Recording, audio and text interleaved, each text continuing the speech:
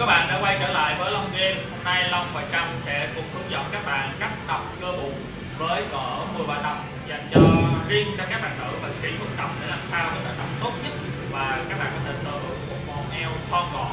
Hãy luôn nhớ rằng tập bụng chỉ chiếm một phần trong việc làm sao để cho bạn giảm mỡ bụng. Vì giảm mỡ bụng phụ thuộc rất nhiều vào việc bạn có một chế độ ăn hợp lý.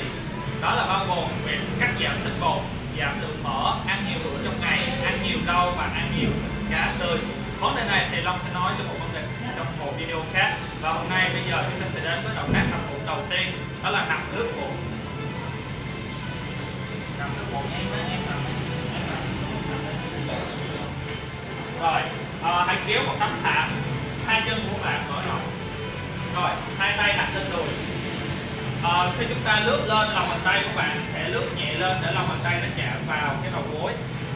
Cái cổ của bạn đừng bẻ nhiều quá, giữ cổ thẳng và gồng chắc đặt cái cơ bụng của các bạn. Xuống. Hít vào. Lên. Thở ra. Xuống giữ lại. Hít vào. Lên. Thở ra. Rồi làm tám cái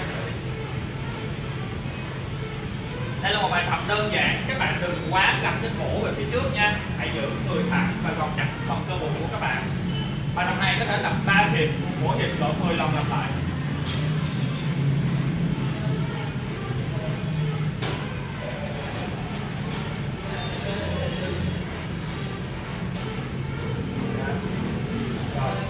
Rồi, chúng ta đến với bài tập số 2 sẽ tác động vào phần bụng dưới của các bạn nhiều hơn. Đặc biệt là các bạn nữ, thường cái lượng mỡ bụng của các bạn ở phần dưới nó sẽ nhiều hơn, rất là nhiều. Và chúng ta sẽ bắt đầu bài tập số 2 rồi các bạn đặt tay dưới mông nha. Rồi duỗi hai chân dài ra. Rồi hai chân của các bạn không chạm đất nâng lên. Hơi co lại, co bụng của các bạn là một xíu, hơi duỗi hai chân ra. Rồi xuống với chân gần chạm đất và còn chặt cơ bụng của các bạn ở ngay phần này giữ lại. Thở ra. Xuống chúng ta hạ từ từ xuống gần chạm đất chúng ta hít vào. Lên. Thở ra hiệp này các bạn có thể tập cỡ 10 đến 15 cái và một hiệp này các bạn các bạn có thể tập từ ờ, 10 đến 15 cái và có thể tập được 3 hiệp lặp lại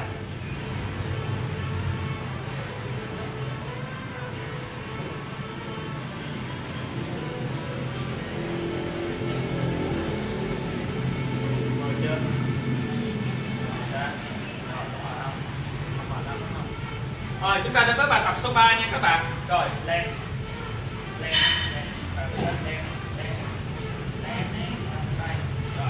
Bài tập thứ ba là chúng ta bài tập đó có tên là plan plan từ tiếng Anh nghĩa là tấm ván, nghĩa là giữ người các bạn thẳng như một tấm ván như thế này. Các phần cơ bụng các bạn sẽ gọt chặt lên. Nhớ là giữ vai, bụng, mông và chân của các bạn thẳng ra. Các bạn đừng quá nâng cao phần mông, nâng cao phần mông lên. Đó, các bạn đừng quá nâng cao phần mông này, hạ hạ xuống, hạ xuống giữ người thẳng một xíu giữ người thẳng một xíu ok các bạn giữ người thẳng như thế này ha. Giữ cỡ từ 30 giây đến một phút. Với các bạn mới tập, thì các bạn có thể giữ cỡ 30 giây thôi. Các bạn tập quen rồi, hãy tăng lên cỡ một phút.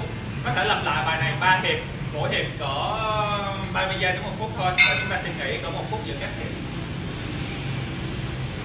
Và tập này việc giữ liên tục như vậy sẽ giúp cơ bụng của các bạn nó nhỏ đi và gồng liên tục cái phần cơ bụng của các bạn rất là nhiều. Ok. Rồi. all active.